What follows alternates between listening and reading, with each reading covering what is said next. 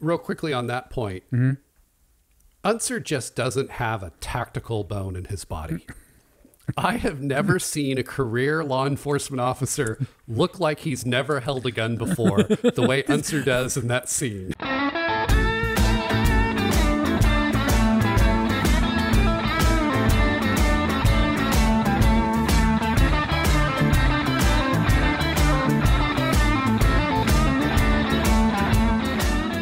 Welcome back. If you're just joining us, you are watching part two of tonight's three part show. We just finished part one where we both did a tasting of Redemption. What was it, Ken? Straight bourbon whiskey? Is that the Yeah, correct? yeah, straight bur- straight bourbon whiskey. Perfect. So Redemption straight bourbon whiskey. And Ken, I'm going to put you on the spot. Where would you rank this one? Yeah, you know, I I I- I love it's a strong attempt, but I don't think it was really a, a, a huge success in my opinion. At least for me. I mean, when I when we started doing the show, I I didn't really have a lot of knowledge of, of what I have now. Just over the time and comparing the number of drinks and bourbons and whiskeys that we've Yep. been we've been trying, I'm learning a lot, and you can really feel where this one just falls for me at least a little bit short. Yeah, and I think, you know, when you look at the proof and you think about the mash bill and you think about the age statement, for me, if there was one thing that really stood out in terms of what I'm tasting, it's the no more than two year age statement. Yeah, it's it. You're right. It's a little It it drinks young. Yeah, it does. Well put. Um, I, I like the presentation. The bottle's great, but yeah, it's it's not on my list of straight sippers that I'm just Yeah. going to put on the rocks or, or, or straight up. It's it's going to be a, a mixed beverage kind of bourbon for me Yeah, anyway. I agree. I agree. All right. So before we jump into tonight's episode of Sons, I want to remind everyone to like this video. Be sure to subscribe to the show. Also, you can click that little bell at the top right to turn on alerts so you won't miss a single show. And we can't stress this enough. Let us know how we're doing. You can leave us your questions and comments in the comment section below of this video, or you can also email your questions to us at ask at bourbon bros, that's B-R-O-S dot TV. And if your question doesn't suck, we may even answer it on a future show. All right, let's get into tonight's discussion of Sons of Anarchy Season 2, Episode 2, titled Small Tears. Now, Ken, last week when we teased this episode, I referred to it as Small Tears. Yes, you did. Obviously, I hadn't watched the episode. Right. Um, tears and tears spelled the same. I went with tears. Um, it's actually small tears, and you realize that very quickly once you actually watch the episode. Right, you do. And, and I had watched it probably ahead of you again, and so even when you made reference to it last week, I, I knew oh, it, it'll come to you soon. It- you'll, you'll see it soon enough. Ah, okay. So you were you were kind and you let let me off the hook on that one. Yep, I did. All right. Well, I appreciate that. So we are going to talk about Small Tears, which is again season two, episode two. Original air date on this one September 15, 2009. And we get uh, this one was written by a return returning writer. Um, and he's written some on his own. He's also worked with Kurt and co-written some episodes. But it's Jack LoGiudice. Um, the first time he came up, I'm pretty sure I absolutely butchered his last name, um, which I apologize for. I researched up and down to try to make sure that I got the name correct. There's no interviews I could find where he's referenced by name. Um, but after a lot of research and going back to the origin of his last name and researching the correct pronunci- uh, pronunciation, I am 99% sure that the correct pronunciation is Lejudice. All right, we'll go with that. Um, and then one new thing we want to start adding into the show as we go through the, the download of, of key facts is the IMDb score for this episode, um, which is 8.2. Uh, so we'll start sharing these scores moving forward with each episode. Um, but 8.2 out of a possible 10, pretty strong. Um, and I would say you know, there are things that this episode has and doesn't have, but I would say that the, the score is fair. I'd agree. It's a strong episode. yeah, it's yeah, yeah, I, I think it's well rated. I think that's about right. Um, all right, let's cover a quick synopsis, Ken. Uh, once again, I do modify these because most of the time when you read the synopsis, it feels like it's telling you the entire episode. Uh, we want to leave a little bit to the imagination and again encourage everyone to not just go off the synopsis, but actually watch the episode and then join us here for the discussion. So the modified version is Chief Wayne Unser finds Gemma at the warehouse after the rape. Mm-hmm. Gemma and Unser argue over next steps, and Tara comes to the rescue. Uh, Unser takes Gemma's car out for a joyride. Mm-hmm. Uh, Luann and her porn company are getting squeezed from all sides. And I just got to say, Ken, there was a lot of innuendo I could have used in in this storyline. It was just too easy, so I left it out. I'm not going to take the quick easy win. Uh, but after things escalate, Luann gets snippy with Jax and quickly regrets it. Mm-hmm. Jax sees an opportunity for a much needed and legitimate revenue stream. The Mayans and the One Niners both come to SAMCRO for weapons after the body of the Mayan that Opie killed is discovered. Tensions between Jax and Clay continue to ex- escalate. Zobelle continues to calmly stir shit up in Charming while AJ can't seem to figure out why everyone is in such good spirits after the rape. And Bobby Elvis does not have a good episode. No, he doesn't. Overall impressions, Ken. Well, I think that was a great summary. I think we can go ahead and just start with the closing now. I think you did a wonderful job. Um, Just skip right to the end of part three. Yeah, we're, we're done. done. Yep. Leave your comments, and we'll catch up with you next week. Take a No. bow, drop the curtain. No, I, I think like, for me anyway, I, I watched it. It was there were some funny moments. It it, it wasn't earth shattering for me. It wasn't one of my favorite episodes. There was a little bit the storyline. You know, it's a follow on to a very heavy moment. It. I mean, it was hard to watch, but you see the pain that that, that, that Gem was going through, and there there's you know there's some comedic elements, but largely it was just kind of informational, at least for me. Okay. Yeah, I mean, I I think I think the challenge with this episode is there are some really great moments, mm-hmm. but there's also like the whole storyline around Gemma's rape is pretty heavy and it's kind of a downer. So you it's hard to walk away from that storyline going, "What a great episode." That's fair. Um, but the acting and performances were fantastic, and there were some great moments to help kind of offset that. But was. yes, overall, it, it's kind of a downer. Yeah. Agreed. So it's hard to get excited about that. Um, did we have any new characters introduced in this episode? I believe so. We we did. We there's one that jumps out, and that would be uh, Georgie Caruso, Ah, And yes, the- good the- old Georgie, the the the adult entertainment. Uh, I don't know. He runs a, a big- Entrepreneur? entrepreneur. Yeah, we'll we'll leave it at that. Um, it's played by uh, a well-known actor, Tom Arnold, yes. who does a good job with this little sleazy character that it is. I mean, I won't say he's he's um the most annoying character in this series, and I'm not going to go back and even cite the name of that person because we've moved past that at this point. Um, we also have Lyla, who's one of the, Yes. the actresses there. That's working Which has kind of a a fairly small role in this episode, but you and I both know this is a pretty prominent character It that is. is. going to evolve in the Yes. series. yes, And, we'll leave it at that. Another one that jumped yeah another one that jumped out to me is Neeta, and she is the nanny for for Abel. Yeah, we this is only the first episode with Neeta, but I love this character. Yeah, she's she's great. She's yeah, it's she's a great character. Well well played. So let's quickly go through the storylines. I think we pretty much kind of already captured this in the synopsis, but we'll just kind of again crystallize the storylines. Um, and we're so early in the season, things have not kind of settled into those that are really episodic and those that are really the recurring because we don't know yet. Um, so I just kind of have everything in in kind of the ABCD format. But storyline A, the major storyline for this episode, is the aftermath of Gemma's rape.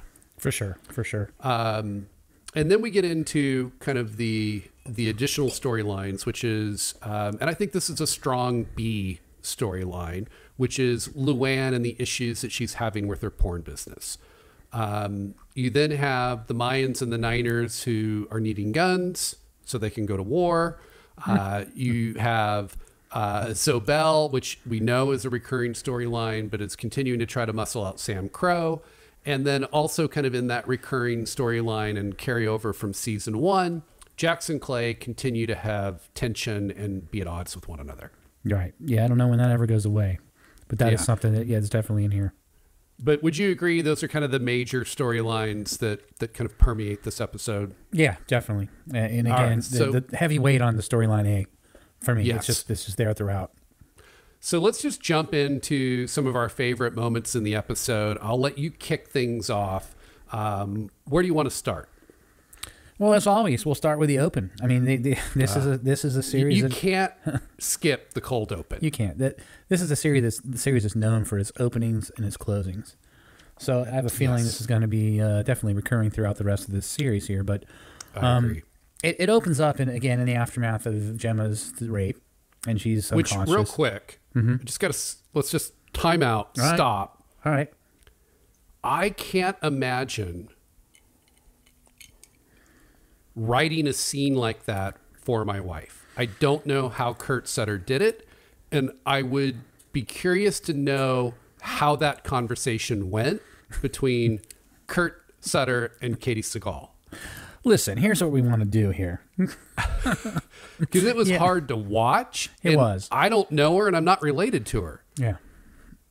I so I just had to say that because again, as I watched that scene after we talked about it last week, um, I, I don't know that I could write that for somebody that I cared about. Yeah. That would be difficult, and I would be curious to know whether, like, if if I did write it, I'm not showing up when they shoot that scene. I'm going to skip that. Yeah, that would be hard to film, wouldn't it? I, I guess. But anyways, I, I, I guess I guess actors have to really take on their role and separate that from from reality completely. And I don't know, they do a good job with it. But back back to where it, where it started. She's unconscious, and she's it, it picks up right where the last episode left off. And uh, Unser's there, and he's showing up on the scene, kind of looking for her. Um, he was obviously tipped off as to what Yep. was going on, um, but he doesn't want to portray that to Gemma. He's trying to hide it from her, but but he finds her, and And, and real quickly on that point, Mm-hmm. Unser just doesn't have a tactical bone in his body. I have never seen a career law enforcement officer look like he's never held a gun before, the way Unser does in that scene. you're, so you're referring to when he tries when he's blowing the padlock off the door, right? he Well, fires when two he shots first at it. realizes that things have, are don't look right, and he pulls the gun out of his holster. he's like twisting the way he kind of holds it. it- It's great for the character because he has that kind of you know old timer, but like just not tactical, especially with the way we've kind of now seen so many um, law enforcement dramas where you have actors who have been trained in how to properly hold and, and how to operate in a tactical position. And then you see this, and it really kind of shines the spotlight on how he just doesn't have that training. polar opposite, right? So, uh, yeah, that was kind of that was funny. But he he comes to her rescue and he, he he's taking her away, and hi- his objective is to take her for medical attention, but but she's resisting because she is trying to hide what happened. She wants she doesn't want the word to get out, and she. She just, she just wants to keep it to herself. Doesn't want anyone, including Clay and the club, anyone to know about what's happened. Where are you going? St. Thomas. No, Gotta get you to the hospital. no hospital. right. So she she makes a call to to Tara because she know that Mm-hmm. she knows that she can trust Tara and, and Tara can come give her the medical attention that she needs and she'll keep it on the down low. Yep. Um, during that opening too, if you recall, Alvarez calls Clay. Oh, and when Tig got the Tig, call, Uh, Tig got the call. that scene, Tig under the woman, Y- yeah, another. Uh, I'm not going to go into the details. You need to watch the episode, but Mm-hmm. I'm just I'll just share that he's in a compromising position. We'll leave it at that. Mm-hmm. But when he throws her off him onto the floor with a thud, followed by "I love you," Yeah. Yeah, just a minute. Yeah. I love you. so funny. It was so funny. Just a, a night of excess at the club again. Um, but he walks in with the phone and wakes up Clay and says, "Hey, it's Alvarez. You need to talk to him." And and Alvarez is calling to inform him that they have found the the body that Yep. that, that Jax set up, and it was holding up nine. Right. So he's he's calling to say that the Niners are responsible for this death. Mm-hmm. And Clay kind of is shuts not how Opie left the body. N- No, it's not, and it, it was the right thing to do, I believe, to get rid of that uh, the the evidence there when he, he carved that that signature in. Yeah, you. That's an interesting point, Ken. I know Clay's pissed that Jax changed it, but I'm unclear on how tagging the body as being SOA makes things any better for them. No, you're you're gonna just have all the heat in, in the world come down on you. Right? Like Yeah. I don't understand why he's so pissed. Yeah, that's he should be he should understand that. But, um, yeah. So, what's interesting here is you can feel it. Is he does not support Alvarez at all in this, and he basically tells him, "Hey, ATF thing's got us tapped. You better be telling me some straight shit, Citizen. I'm as straight as shit gets, man. Sorry.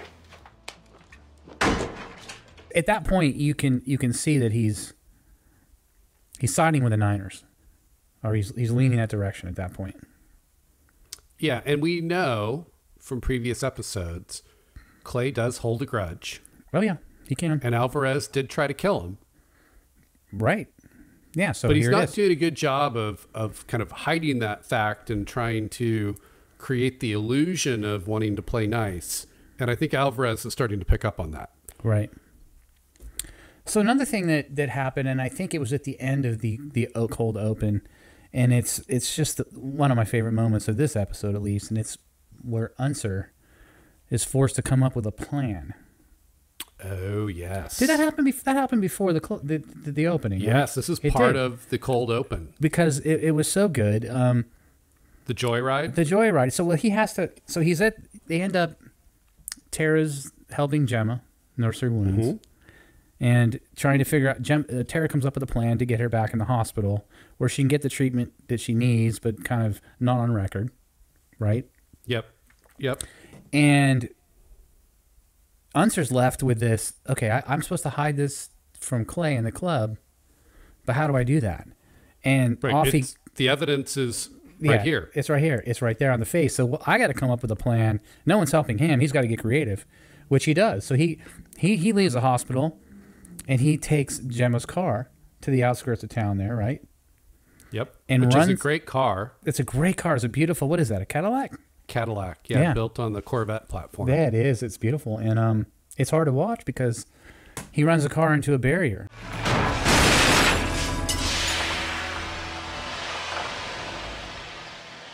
Another magical day to be alive. It's perfect. What a It's great a- way to close the cold open. It, it's so perfect.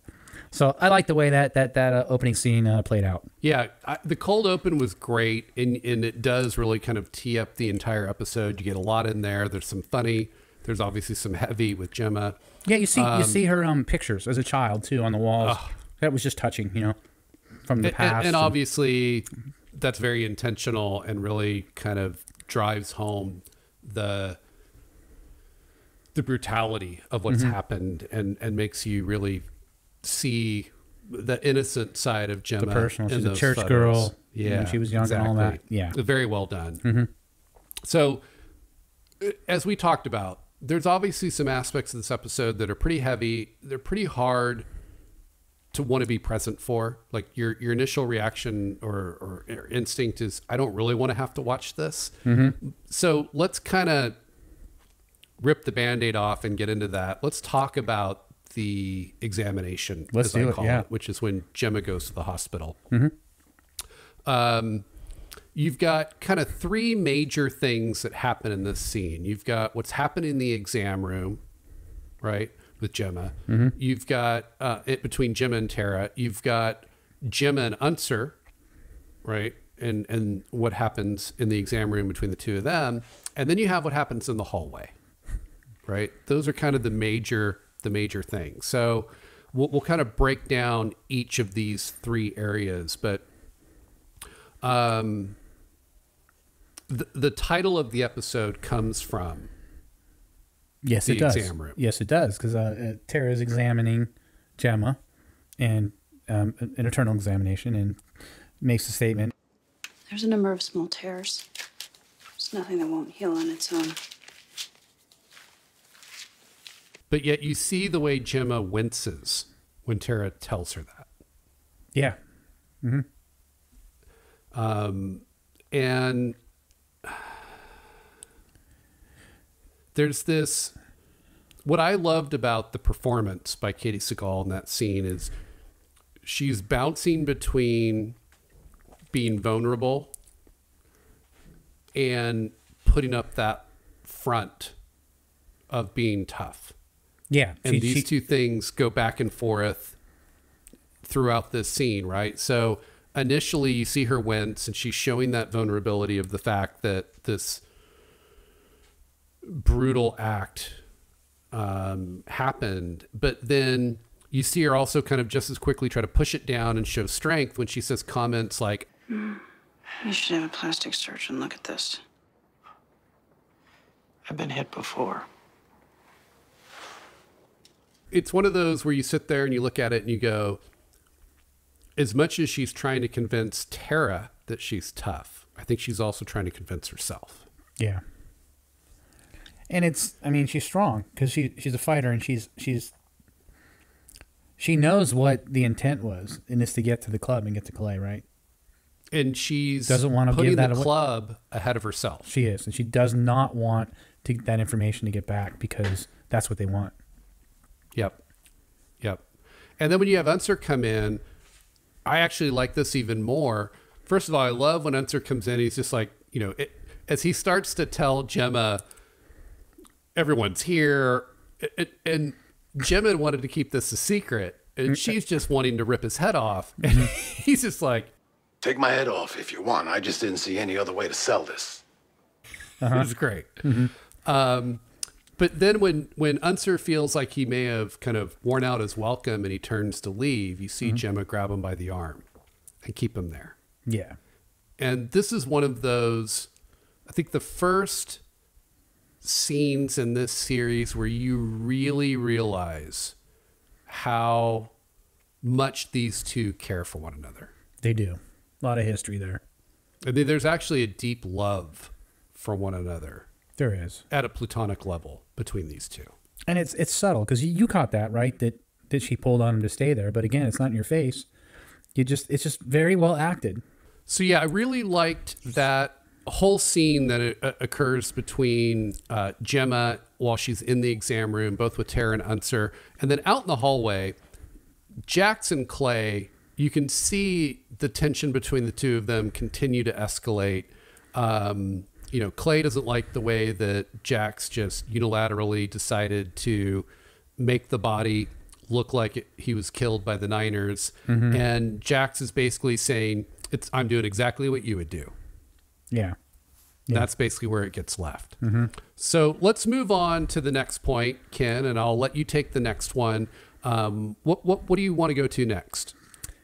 Well, real quick, as that scene closed out, I, I got to say I love the the whole club came to support Gemma at the hospital. They they didn't get Yes. in, but the, you know, the- Bobby's incapacitated on the cart, and the whole club's around there.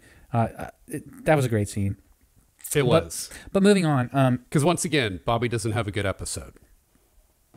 what he doesn't? He doesn't have a good episode, meaning he's pretty much hungover and sick or shot through the entire episode. That, that's good. Oh, agreed, agreed, I completely agreed. He doesn't have a good episode. I see where we're going with that. Okay, so I- I, would say the next point I want to bring up is the very well acted Kurt Sutter in the meeting. Ah, that's, the meeting. Otto. the Otto. Yes, the the the meeting that's arranged. He wants to call a meeting. He calls Clay. He wants someone there. Jax decides to take it. Right, and he ends up going. He ends up going solo. Um, I don't know if you caught it, but when when he was walking in, there was a lot of uh, disturbance, fighting that was going on there. With Yes. was that the Aryan members there that were kind of fighting? Yes. it was. Um, but Jax, he's rolling forward with this SAMCRO T-shirt. Makes me want to go get one of those T-shirts because I like the shirt. But um, Great he, shirt. he shows up and sits down and talks to Otto, and, and and Otto's there to ask for the club's help. She needs time and money to get up and running in a new space. We can get her the time. And the money? We're only half healed, Otto. We don't have it. He kind of alludes to wanting some money back that she had loaned the club, which Jax is very, you know, forthright saying. Matter of fact, it- the yeah. matter of fact, hey, we don't have the money, and but I'll, I'll do what I can. And, and and Kurt is saying that, hey, I don't I don't want Luann to have to go back into the business. hmm And you already said it. You said it was well acted. i Kurt Sutter was really, really good in this scene. He was, he was, and he underplays it. Mhm. It's just it. He, he's underrated as an actor. He did really, really well in this scene. He did. He, he did. And he, he doesn't want Luann to have to go back into the business and, and kind of makes Jax swear. Jax swears and says, I will not let that happen. You have my word. Um, I'll yeah, figure- so let's talk about that because Sure. he just hightails it straight on over to Luann to Mhm. find out what's going on. Luann lets him know it's our good friend Georgie, Mhm. aka Tom Arnold. Right. And so Jax pays Georgie a visit. We're here to see Georgie. You got an appointment? jesus No. Then you don't see him. Hey, auditions are out back. Let me guess. Georgie Caruso. First of all, I love the kind of bravado that Charlie Hunnam gives to the character in this scene. Mhm. Right? He's, you know, um, Georgie's bodyguards, his muscle are there to intimidate, and there's zero intimidation going on. SAMCRO, as a whole, are not intimidated. You've got uh, Georgie who comes out and makes the Brad Pitt joke. They were just leaving, Mr. Caruso. That's too bad, because this one here's got kind of a Brad Pitt thing going, only not quite as gay. right? Um, Right, right. Comparing Jax to Brad Pitt, and after he lands the joke, I love the way that that Charlie Hunnam as Jax responded, where he's just kind of like, uh, "Yeah," and then kind of moves on from that Mhm. point. But Mhm. I think there was a little bit of an inside joke there. I have a feeling Charlie Hunnam has been compared to Brad Pitt, and so I have a feeling that's probably why that was written in. Would be Probably, my guess. probably. But it's the he Charlie Hunnam delivers the perfect amount of swagger and and zero fear. This kind of I don't give a shit attitude. I will take every one of you out in a heartbeat. Right. Loved it. Mm-hmm. Um, and then I'll just quickly say I also like it when the the one guy that was part of Georgie's muscle kind of pops off right with like you got a problem, Mhm. and the moment he says that, as the club was walking out, everyone turns around and comes back like now we've got a problem, no hesitation, and then you've got Bobby Elvis. You do. Who's not? Who's is pretty ill from the night's activities. And what happens? Not now, man. I feel pretty good, thanks. Told you I was sick. That was great. All right. And that's going to do it for part two. Uh, once again, I want to remind you please like this video, subscribe to the show, and you can find all of the past episodes of the Liquid Courage Show on our YouTube channel or our podcast feed and get caught up on any shows you've missed. But once you do, be sure to top off your glass and come on back and join us for part three, where we're going to continue enjoying some redemption bourbon and we're going to wrap up our discussion of Sons of Anarchy Season 2, Episode 2, titled Small Tears. Stay with us.